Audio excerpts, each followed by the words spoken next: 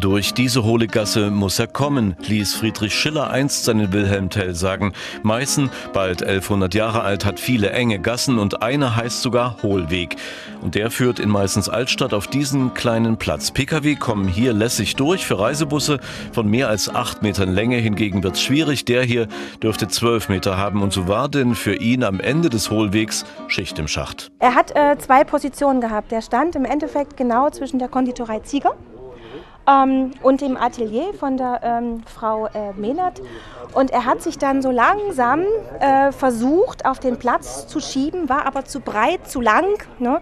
sodass er sich im Endeffekt äh, zwischen der Terrasse von der Fuchshöhl und dem Brunnen völlig verkeilt hat. Also mehr, äh, und das war schon Drama pur.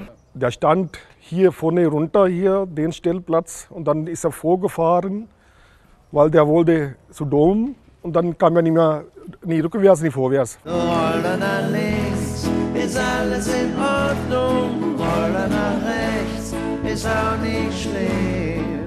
Der ist Navi gefahren, der Fahrer kannte auch nicht dafür.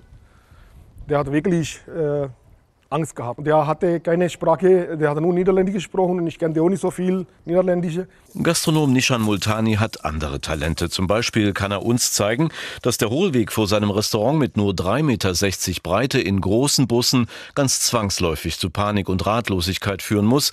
Nicht allerdings bei ihm. Zwar lebt Nishan schon 26 Jahre in Deutschland, aufgewachsen aber ist er in Indien. Dann erst Familie zu nähern, machen, tun, bin ich dort Taxi gefahren. Eineinhalb Jahre, zwei Jahre. Und da die Erfahrung, wenn man Indien fährt, Indien äh, fahren kann, man kann überall fast fahren. Und so wird Nishan zum Retter in höchster Not und zur Symbolfigur sächsisch-indisch-niederländischer Freundschaft. Und dann habe ich den Fummelplatz hier vorne, bin ich eingestiegen, habe ich den gerne rückwärts hochgefahren.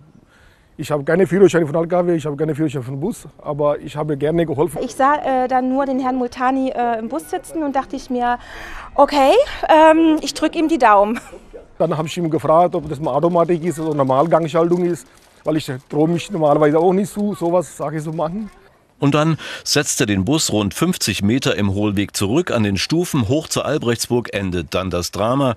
Der Busprofi aus Holland übernimmt wieder. Für Nischan hingegen gibt's neben tosendem Applaus ein volles Restaurant, denn die Reisegruppe rückt geschlossen bei ihm ein. Bleibt die Frage, warum der Platz vorm Restaurant, in den all diese Gassen münden, Fummelplatz heißt. Seit den Zeiten von August dem Starken wird gegenüber bei Café Zieger dieses Gebäck produziert. Die Meißner Fummel. Aber das ist eine andere Geschichte.